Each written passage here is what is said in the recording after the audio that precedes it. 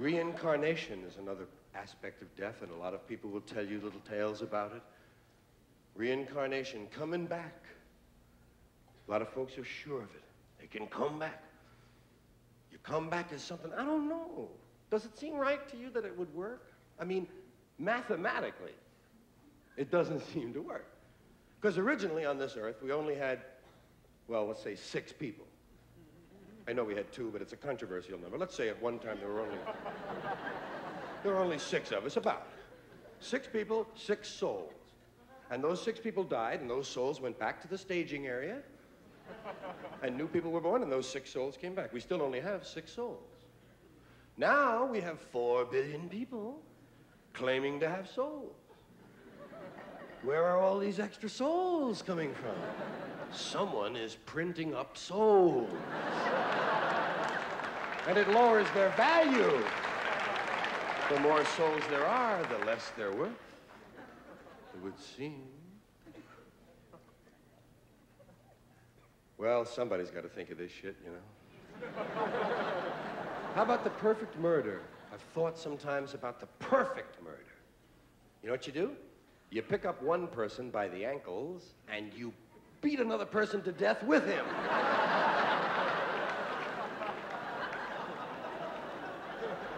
and they both die, and there's no murder weapon.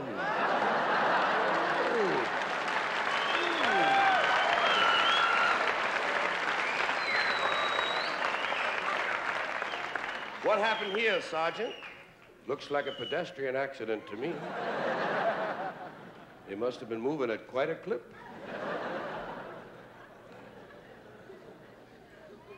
Of course, if you should be caught with this perfect murder in progress or even after the fact, if you should be caught, you might wind up in death row. Death row. Wow. That's more than just fun, ain't it? I mean, this cat's there. Death row, man. Oh, well, you got that one meal, but that's not much of a consolation, is it? You're gonna get to order a meal. Big deal. Why don't you leave me alone? I'm not hungry, man. They give you that one last meal. I say you can have some fun with that last meal. I mean, if you work it right, they got to give you whatever you want. I mean, short of elephant steak, you know? They don't want to start on a new elephant just for one guy. But they got to give you pretty much what you want. That's part of the humanity of what they're going to do to you. Yeah, you could just order something, you know, like maybe, well, shit, you tell them you can't decide. That's it. I can't decide. I don't know. I don't know if I want steak or lobster, you know? I, I mean, I really love them both, and I honestly can't decide. Could they kill you? I don't think they could kill you if you honestly couldn't decide. Lie detector, truth serum, the man honestly doesn't know what he wants. We can't very well kill him. We can't drag him down the last mile screaming, I don't know what I want. You've gotta give him a chance, and then he, well, man lives. Imagine if you worked it out and you kept it going six months, man still alive, can't decide on meal. Three years, eight years, and then finally you're an honest person, so you tell them when you do figure it out, and you say, I've decided what I'd like. I think I'll have steak. Okay? How did you want that? Oh.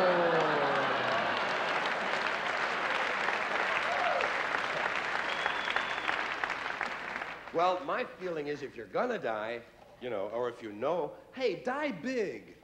Die big. Nobody wants to just pass away. You don't want to be a euphemism, do you? Nobody wants to pass away. You know, Arnie passed away. Oh, really? Yes. Well, I didn't know that. Well, that's the idea. On the other hand, Dave died. Oh, yes, I heard about Dave dying.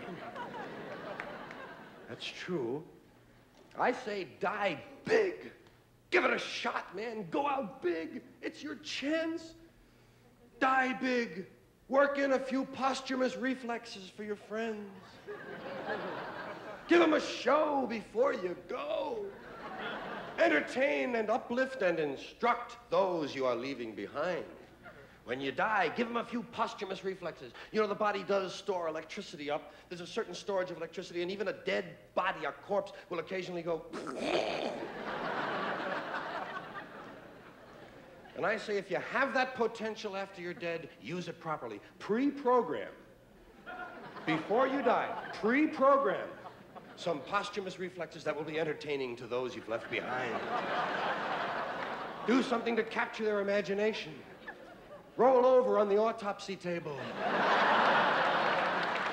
That's nice. Cross your legs, scratch your balls, do something.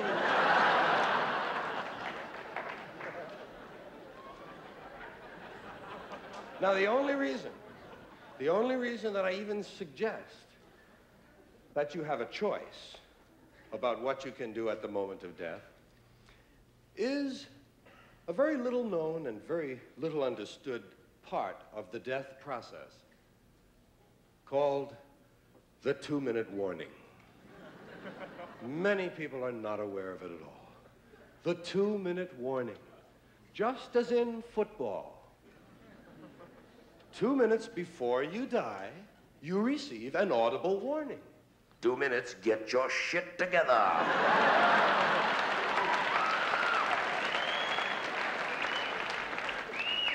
The reason we don't know about it is because the only people who hear it die. and I don't think we'd believe someone anyway if he told us he received his two-minute warning, would you? Some asshole on the bus? Hey, I just got my two-minute warning. You'd think it was a coach out on the town, you know? But no, the two-minute warning does arrive. And I say use that time to entertain, to leave something behind. Do something with the two minutes. Hey, if nothing else, give a speech. Little two-minute speech. We can all give a little two-minute speech. Just pick some subject you're very fond of and talk about it for two minutes. I mean, tell them it's your last chance to tell them anything.